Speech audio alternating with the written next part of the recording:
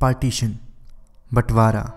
ये वो शब्द है जो एक टुकड़े को दो अलग अलग टुकड़ों में बांट देती है। एक नए सरहद का जन्म होता है, जो हर वक्त खुद को कोसता है कि उसने एक ज़मीन के टुकड़े को दो अलग अलग भागों में बांट दिया। कल तक जो अपने थे, वही एक पल में पराये हो गए। कल तक जिनके एक ही दुश्मन थे, आज वही एक दूसरे के दुश्मन बन गए। दोस्तों, मैं बात कर रहा हूँ भारत और पाकिस्तान की। ये वो एक ही माँ के दो बेटे हैं जिन्होंने एक साथ अंग्रेज़ों से अपनी माँ को आज़ाद करवाया था, पर आज़ादी के तुरंत बाद ही एक दूसरे से अलग हो गए। खून की होलियाँ खेली गईं। अपनों ने ही अपनों का खून बहाया। किसी का अपना घर छूटा तो किसी को एक नया घर मिला। कुछ सही सलामत अपने नए मुल्क में पहुँच गए और कुछ बीच रास्ते में ही खो गए। जहाँ पहले लाहौर से अमृतसर बस कुछ मिनटों का ही सफ़र हुआ करता था, वहीं अब उनके बीच कभी ना मिटने वाली सरहदें खड़ी हो गई। अपनों को फिर से देखने की आस एक पल में ही टूट गई। पर आखिरकार 1976 में प्यार और भरोसे की डोर से इन दो मुल्कों को जोड़ने की कोशिश की गई, समझौता एक्सप्रेस से। ये ट्रेन दोनों मुल्कों के लिए एक नई आस थी, जिनके अपने बरसों पहले उनसे जुदा हो गए थे। उनको फिर से देख पाने की एक नई उम्मीद थी। शिमला समझौते के बाद इस ट्रेन को हरी झंडी दे दी गई और आखिरकार अमृतसर और लाहौर के बीच के सरहद को समझौता एक्सप्रेस ने जोड़ दिया। कहने को समझौता एक्सप्रेस पाकिस्तान के लाहौर से भारत की राजधानी दिल्ली तक चलाई जाती है, पर सही मायनों में समझौता एक्सप्रेस लाहौर से अटारी और अटारी से लाहौर तक ही चलाई जाती है। अटारी भारत का आखिरी स्टेशन होता है, जहाँ उसके बाद पाकिस्तानी सीमा शुरू हो जाती है। लाहौर से अटारी तक आने वाली समझौता एक्सप्रेस पाकिस्तान रेलवेज की होती है।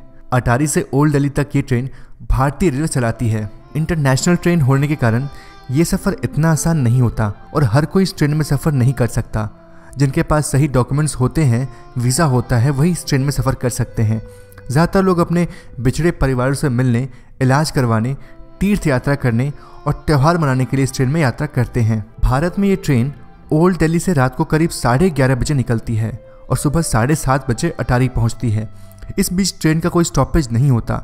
इससे चलती ट्रेन में ना कोई गैर चढ़ सकता है और ना ही कोई उतर सकता है। सुबह अटारी पहुँचने के बाद यात्रियों को एक दूसरे ट्रेन में बैठना होता है और उससे पहले उनके डॉक्यूमेंट्स की चेकिंग होती है, जिसमें बहुत वक्त लगता है। करीब तीन घंटे के बाद फिर से वो अपने सफ़र की शुरुआत करते हैं, एक नई ट्रेन में, जो पाकिस्तान से आई हुई होती है। अटारी से ट्रेन के खुलने के बाद जैसे ही ट्रेन पाकिस्तान के वाघा स्टेशन पर आती है, वहाँ फिर से यात्रियों के इमिग्रेशन वगैरह डॉक्यूमेंट्स की चेकिंग की जाती है, जिसमें काफ़ी वक्त लग जाता है।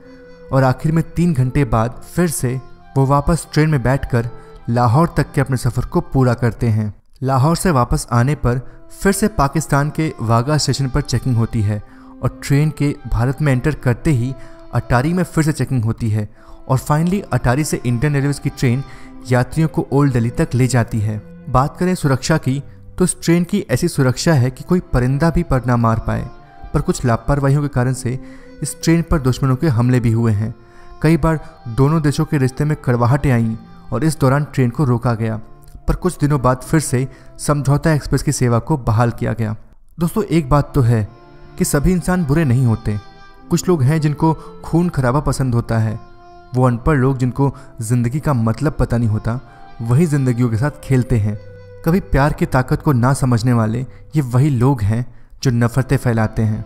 तुम नफ़रतों के तीर जितने भी चलाओगे, हमारी मोहब्बत की कवच को कभी ना तोड़ पाओगे।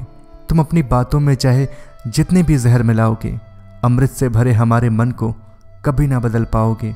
तुमसे एक विनती है, ज़रा एक बार मोहब्बत की मिठास को अपने गले से नीचे उतार करके देखो।